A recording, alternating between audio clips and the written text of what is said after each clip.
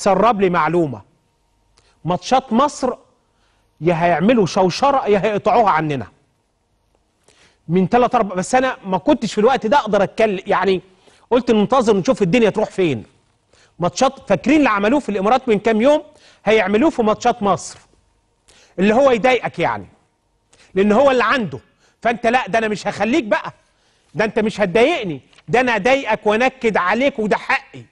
وجهاز المنافسة اللي عملوه ده هو الحق الحصري لينا والحق الخاص بمصر لأن إحنا في كأس العالم. فمن حقنا إن إحنا نشوف ماتشات مصر, آه، مصر ونشوف ماتشات الأخرى. ده ده حق المشاهد المصري. ما ينفعش آه، بلد تتحكم في مصير العالم العربي. والعالم العربي كله قاعد يستنى ويعمل معاهم مفاوضات واصل ادونا وما تدونا لا اديني إيه واديني مين؟ أنا أروح للاتحاد الدولي ما ادينيش أعمل زي مصر كده. يعني ارجو الدول العربية كده المملكة العربية السعودية تتحرك الامارات تتحرك البحرين تتحرك الدول العربية تتحرك زي مصر كده. يبقى في تحرك كمان خلال الساعات القادمة. تحرك جماعي ان إحنا بنواجه هذا الكيان الإرهابي. كان الارهابي دفع فلوس طيب إحنا رايحين للاتحاد الدولي. انت دفعت رشاوى عشان تبقى حصري وادوك عشان تبقى حصري. كل البطولات لحد مش عارف كام 27 ولا 28 حاجة عجيبة جدا. كل بطولات العالم. تنس النهارده عمالين واخدينها رولان جاروس واخدينها ومش عارف نادال فاز النهارده فاز فاز البطوله 11 النهارده ماتش رهيب جدا. مش عارف بطولات إيه ناس بتجري بياخدوا بطولات ناس بتركب عجل بياخدوا. واخدين كل حاجة.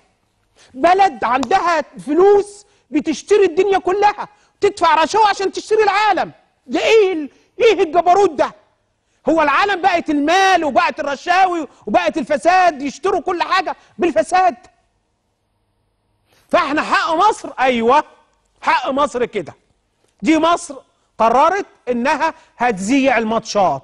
هندفع ويلا هنذيع الماتشات على التلفزيون الأرضي. مش عايزين فضايح عشان من إن إحنا كمان ناس بنحترم القوانين. يعني إحنا بلد تحترم القوانين ال ال ال كلها. وبالتالي آه في واحدة خدت بعد كده نبقى نشوف البطولات الأخرى. حد يدخل بقى شركات قنوات أخرى تدخل وتعمل منافسة وتعلي وتع... وتدخل بقى حاجات أخرى. وبالتالي يبقى من أصدقائنا اللي موجودين هناك. قال لي خلي بالك دلوقتي هيعملوا حاجة في ماتشاتكم. تحديدا ماتش يوم الجمعة. الناس كلها تبقى قاعدة وفجأة تلاقي إيه؟ دخ. ويطلع لك أي بيان أي بيان هبل أو أي حاجة هبل ويضايقك بقى. هو بس عشان يضايقك. ده اللي كانوا يعملوه حتى مع المشتركين. يعني مع المشترك اللي دافع فلوس كانوا يعملوا معاهم كده. فإحنا لا مصر يبقى عندك على الارضي أهلا وسهلا. عندك فضاء شوف عندك ارضي عندك تلفزيونك في بيتك في النادي بتاعك في قاعد في الس... هنا في العيد كلنا بنعيد إن شاء الله ونشوف الماتشات بتاعتنا وربنا يسعدنا إن شاء الله وربنا يسعدنا إن شاء الله بإذن الله. ولكن تحرك مهم من الجهاز حتى تتمكن مصر من إذاعة حقها. في إذاعة ماتشات كأس العالم اعتبارا من يوم الخميس إن شاء الله 22 مباراة على التلفزيون الأرضي مقابل فلوس هتدفعها الحكومة المصرية. تاني مقابل فلوس هتدفعها الحكومة المصرية، مش عايزين حاجة من حد. مش عايزين حد يقول لي هديك مجاني، أنا مصر مش عايز منك مجاني. المجاني دي لحد يكون محتاجه، إحنا لا. إحنا هندفع بفلوسنا كده أهو ونشوف الماتشات بفلوسنا. بس ما حدش يعاقبنا وما حدش يجرؤ يعاقبنا